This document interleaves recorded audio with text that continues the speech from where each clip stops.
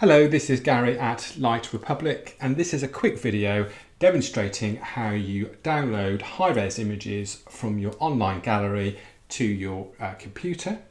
And later in the video, I'm going to show you uh, the option of ordering prints directly from here as well. So let's go straight in. Now you would have um, received a link from us and clicking on that will have revealed your thumbnails in a very similar layout to, to this one. Let's click on this image to enlarge it. And you'll see the download option at the top of the image. And now there are two further sub options where it says original that means download the image the single image by itself. The second sub option where it says all available originals is to download all of the high-res images from your gallery in one go. And that obviously uh, saves a bit of time. But just to just to stress that you can't do that on um, on tablets or iPhones. It has to be a desktop or a laptop. Okay. Once you've done that, um, make sure you know where the images are, move them to a safe place and e on your computer and even better, back them up.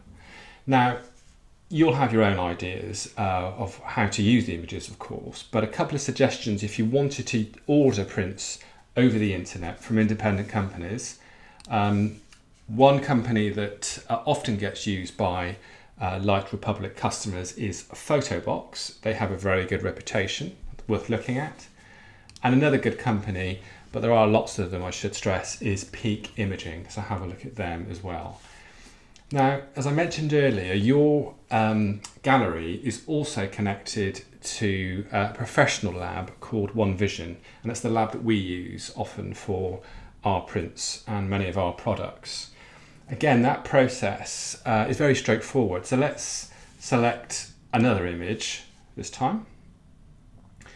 And a very quick way, let's say, is we want to order a 7 by 5 print. So let's click that from the feature products. Those are the commonly ordered um, print sizes. Once that loads, you can see how it's going to look when it's printed. Now, it's not printing the whole image because a 7 by 5 print is a slightly different image ratio to the underlying image. But what you can see is what going to, what's going to get printed within the orange borders. And you can move that around to suit your taste. And you can also change the zoom. This is effectively cropping with a fixed image ratio. And once you're happy with how uh, it's going to print, you select the paper type here, glossy or luster, and then just add to cart.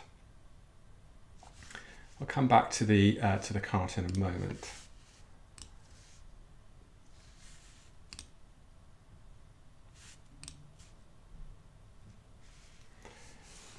Let's select uh, this time this panoramic image. And this time I'm going to go through the longer route of buy and then select product. And you've got two further options here. Prints, which we'll come into a in a moment. Wall art, if we go into that briefly, is the aluminized and edge prints that you've seen in our in our studio.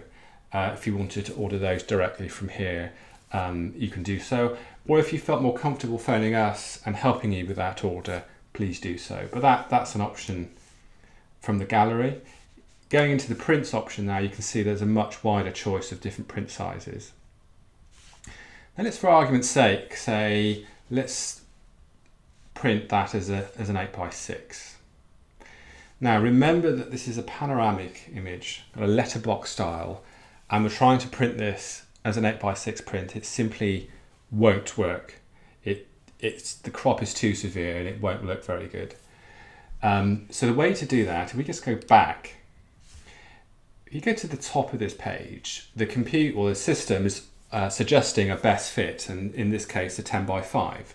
Anything where the image ratio is 2 to 1, so a 20 by 10, for example, would also work. Let's have a look at that.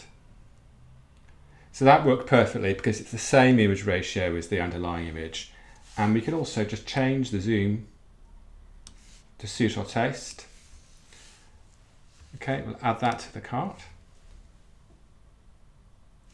Let's have a look at the cart. Now I'm not going to take you through the registration and payment process because that's very uh, straightforward, just follow the instructions.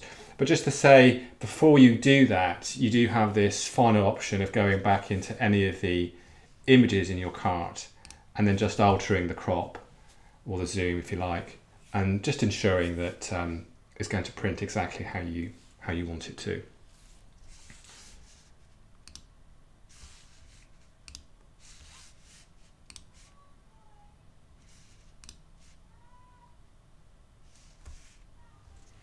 So both in terms of downloading the high-res images and ordering prints or products from the gallery, it's all very straightforward. But if you do have any questions, please contact me at the studio. That's it for now.